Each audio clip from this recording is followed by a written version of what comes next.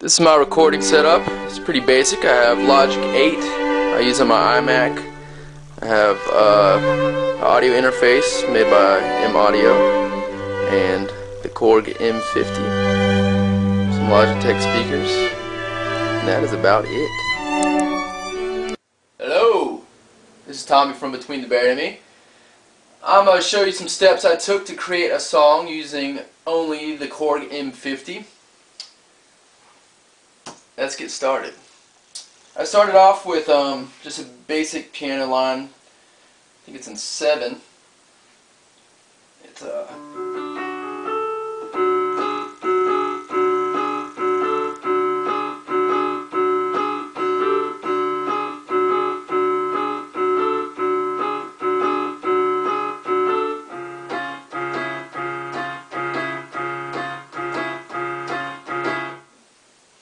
a bass line behind that. That was the next step I took.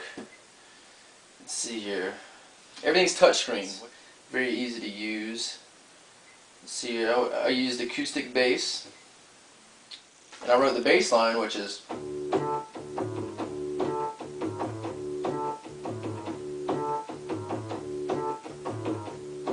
put that behind the piano part. And then I, then I created a drum beat behind those two parts. And then I choose the tempo, which is simple as that, 62.5, which matches the song. The good thing about this, you can change, you can basically make any drum kit part of your beat. And this beat's already pre-programmed. I wanted to show that, you know, you can, how real sounding the drums are on this keyboard. It's pretty, right here. And I took this beat, kind of messed with it a little bit through editing, but um, it sounded really cool behind what I had written. So we have those three parts, and then I put some strings behind it, and then I did E54, which is this. Just to create a little texture, you know. And that's basically the first part of the song. And all together,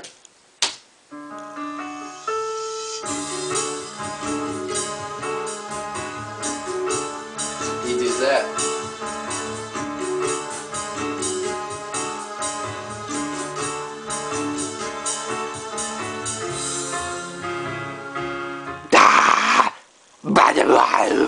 Okay, this next part, I took the same piano patch I had from the first section, and I basically just tweaked it, which you can go to controls over here. Went to the cutoff, cut it down a little bit. And I can actually compare that to the original sound. Compare button. Then I created a beat behind that. The next drum beat I did, um, I basically did it like I did the first beat that I showed you. Um, I found a cool electronic beat. And it was actually in 4-4, so I had to tweak it a little bit through editing to make it fit. Because it kind of fights the 7 feel of the piano. But um, it came out pretty cool, I thought. And here's... I did some panning with editing and stuff.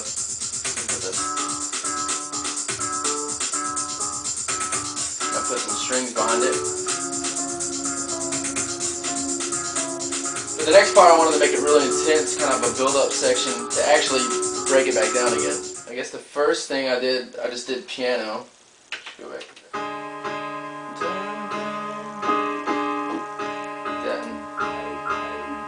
Little bass drop.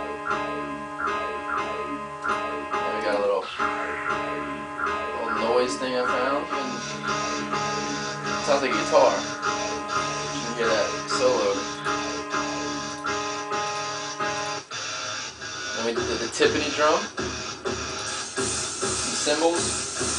The really cool thing about this keyboard is just how many different things there are on it. There's patches for any sound you can really think of. So I mean, creating you know a lot of textures is easy, which is what I like to do with keyboards, and Between Buried and Me especially. So you just go to Lead Synth, and the one I found, Vintage Sci-Fi Lead. Basically, the lead is.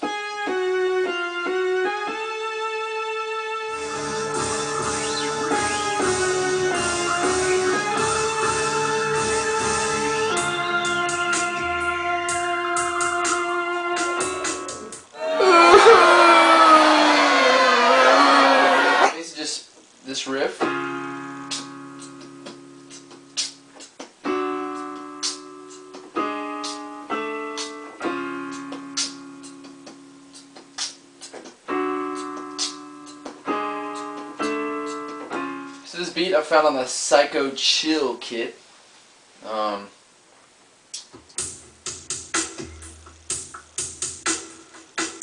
and one thing I did at this one section right here is I think I tripled the BPMs to the beat to kind of add some weird texture and I did some panning with it as well. That's how I got that little section there. Next I put a little bass synth thing behind that, which is cool. See right there. I thought it was a cool texture, but it needed something else. I wanted to kind of go back to the, kind of into the 70s era sci-fi, you know, score music, and kind of wanted to put a little arpeggio thing that kind of made it feel like aliens were landing. This next section I'm going to create an arpeggio patch.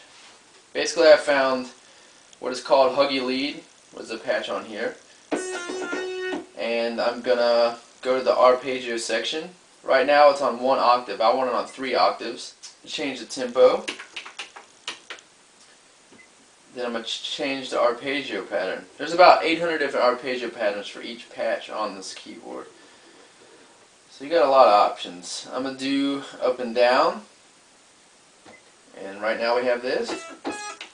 Cut the arpeggio button on. Easy as that. You can even latch it so you don't have to hold anything. okay, so I'm back on the Psycho Chill kit.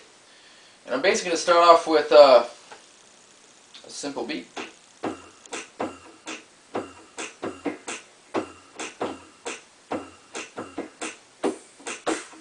That's what I did. I put some weird noise behind it. And then the bass line which heard earlier. As some of the fans know, I'm a big fan of noisy keyboards. That's basically the end of the song. After that, I go back to the beginning section. Everything's about building, you know, building off each other and kind of setting different moods. I wanted to make it instrumental because I can't sing with this. I can only sing with this. I wanted to make an instrumental track that was very soothing. You can maybe throw on while you're watching the Food Network or something. Um, and that's that's it. And now I'm hungry. I'm sweating. Look at it. Enjoy the song. Bye bye. It's pretty easy to use. Here is the touchscreen I keep speaking of. Go to categories. You got all your different categories. You know, organs, bells, vocals, brass, blah blah blah, drums. Look at all the drum kits you have. I mean, it's unbelievable. Wow!